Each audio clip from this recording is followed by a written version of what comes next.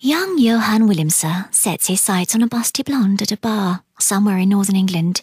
He says, Hi, hello. Hi, my, my name is Johan Willemse. What she hears is, Allow me to introduce myself. My name is John Williams, the third. Yeah. So, uh, my dad owns a pet store back in Kempton Park. I'm the chief game ranger at the Kruger National Park.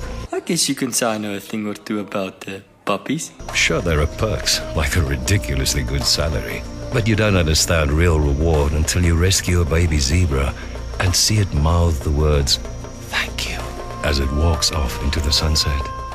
From only 6,890 Rand, student flights will get you to London, where your South African accent will get you even further. Visit studentflights.co.za. Terms and conditions apply.